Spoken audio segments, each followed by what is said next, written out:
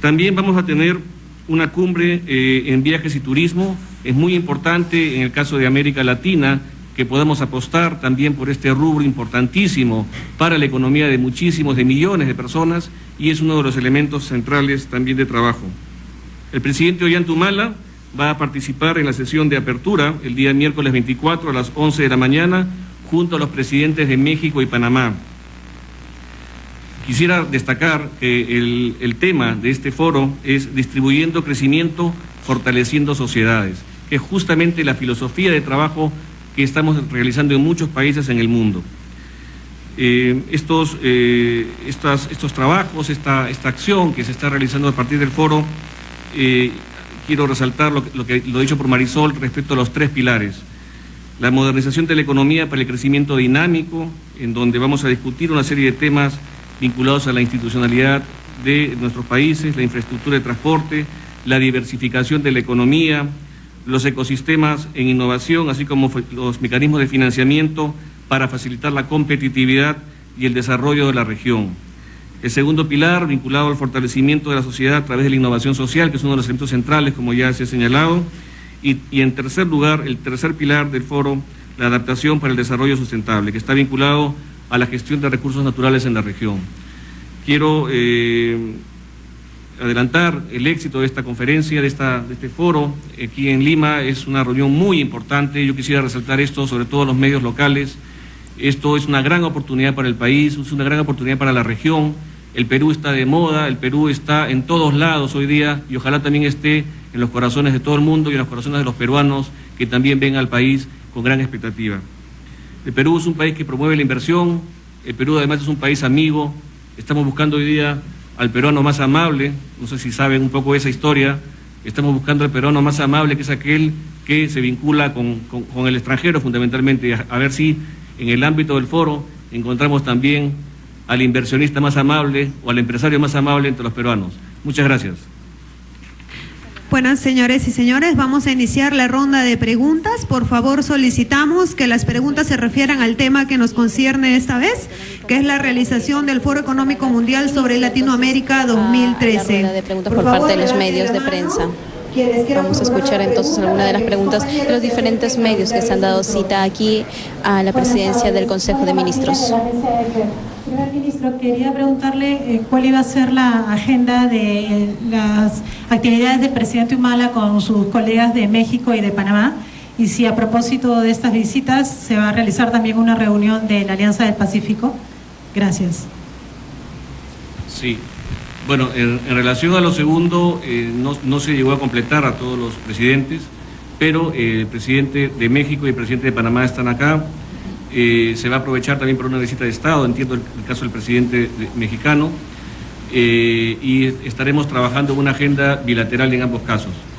La agenda del presidente estará vinculada también a, una serie de actividades en el foro y quizás Miguel tiene algunos detalles adicionales sobre el tema económico.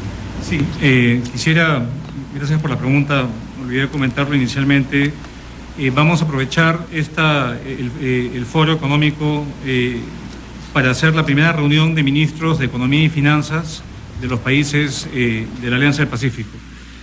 Ya han confirmado los ministros de Chile, de Colombia, de México y de Perú. Esta reunión se va a realizar en la mañana del día jueves 25 y las dos grandes temáticas que vamos a abordar van a ser, en primer lugar, cómo podemos fortalecer la integración financiera y los mercados capitales de, de, estos cuatro países en este bloque.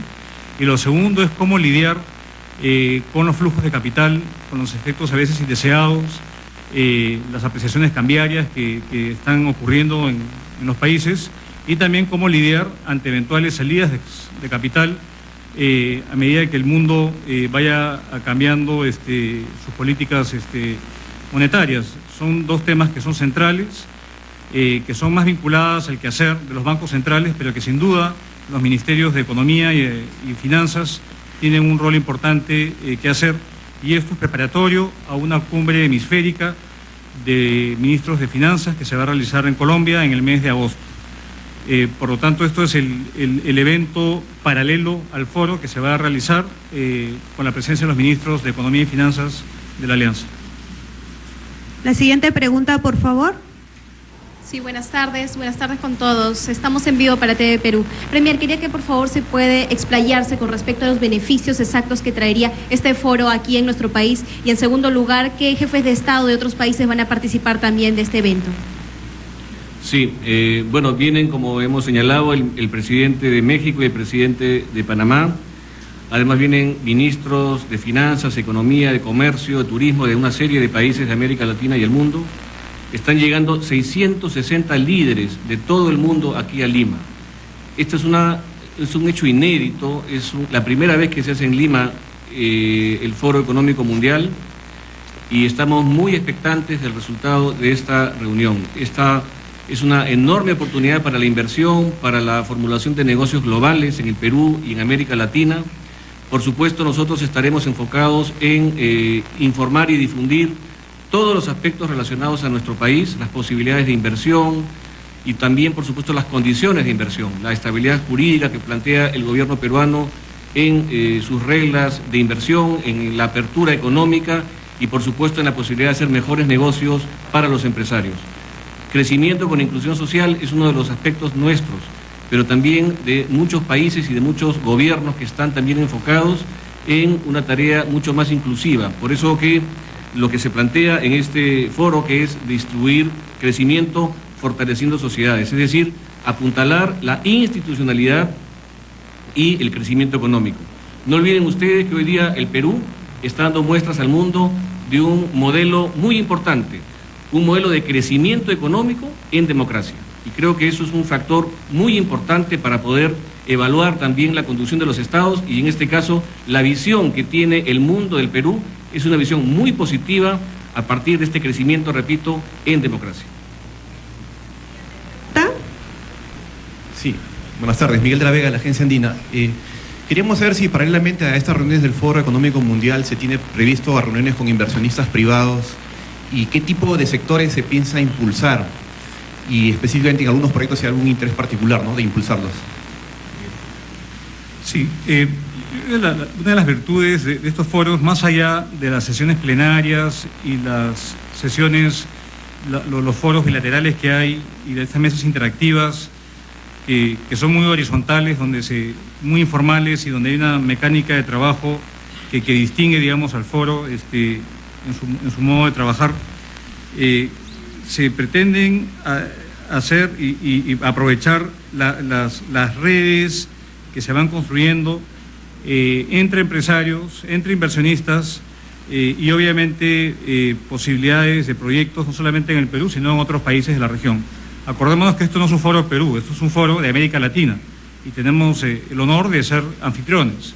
Pero acá vienen empresarios de todos los países de la región también para poder movilizar inversión hacia, sus países, no solamente hacia acá. En nuestro caso en particular, hay por lo menos dos eh, o tres sectores que son claves, que le estamos dando mucha importancia de cara a los pedidos de reuniones, de solicitudes de reuniones bilaterales que hemos recibido. Un sector fundamental eh, es el sector de infraestructura.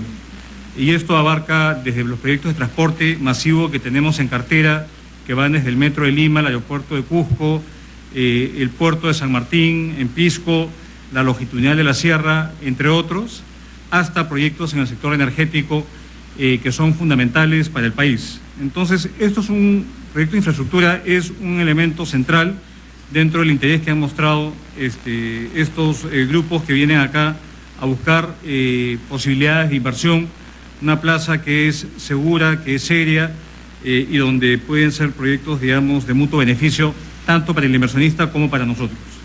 Un segundo ámbito tiene que ver con el hecho de que somos un país en crecimiento y que cuya clase media cada vez está demandando mayores servicios. Entonces tenemos un conjunto de empresas de consumo masivo, de servicios financieros, eh, eh, entre otros aspectos, que están apostando a un mercado que está en crecimiento, a un mercado con una clase media cada vez más pujante y con una perspectiva que continúe consolidándose como tal. Entonces, todos estos inversionistas eh, que van y que, vienen acá al país para poder ver cómo poder aprovecharse de este crecimiento de nuestro mercado doméstico. Y sin duda, la tercera y, obvio este sector es el sector de recursos naturales. donde el Perú es un país eh, eh, líder a nivel internacional, donde hay grandes proyectos de, inversión y un gran potencial, no solamente en el sector minero, en el sector extractivo y otros sectores, otros sectores intensivos en recursos naturales. Son en esos tres ámbitos donde se han recibido el mayor número de solicitudes de reunión y probablemente hagamos seguimiento de roadshows anteriores. Acordémonos que la política de promoción de inversión que el país ha venido eh, empujando no solamente se reduce a estos eventos. Hay un esfuerzo deliberado que se ha logrado potenciando las oficinas comerciales, eh, que se ha logrado potenciando obviamente nuestra presencia en el exterior, visitas público-privadas a distintas partes del mundo y probablemente hayan muchas reuniones de seguimiento de estos compromisos. Hablar de cuánto nos va a traer, ojalá que nos traiga mucho, este, muchas inversiones nuevas, este, eh, pero son estos sectores que consideramos que son claves para poder seguir eh, creciendo a las tasas a las que debemos crecer este, en el presente año y hacia adelante. Siguiente pregunta, por favor. Sí, buenas tardes. Omar Mariluz, de la agencia Reuters. Ministro, ya que menciona el interés de Perú en el sector energético, eh, quería saber, en el marco del foro económico, se había mencionado que el presidente de Repsol asistiría al foro. Quería saber si el gobierno peruano tiene intenciones o ha programado alguna reunión con el presidente de Repsol o con algún directivo de Repsol para una posible compra parcial de los activos de Repsol en Perú. Bueno, eh, particularmente quien habla no ha recibido ninguna solicitud de entrevista. Así que eh, por el momento no tenemos información sobre el particular. Eh, en todo caso, no sé si, está entre las personas eh, de los 660 líderes empresarios que están en, Lima. Estamos verificando también en este momento. Bueno, es, una, es una lista larga de, gente que, está viniendo a Lima. Seguramente tendrán ustedes oportunidad de, de abordarlo, seguramente cuando esté caminando por las calles de Lima. Gracias. La última pregunta, por favor. Buenos, buenas tardes. Rocío Barja, de Diario Gestión. Justamente en ese sentido, Premier y Ministro Castilla, solamente queríamos, le preguntábamos, vuelvo a la repregunta de mi compañero, porque muchos inversionistas eh, leen varias noticias con un poco de preocupación. Y en ese sentido, solamente queríamos saber si el gobierno está evaluando, eh, evaluando todavía esta venta de la Pampilla o ya es una decisión irreversible.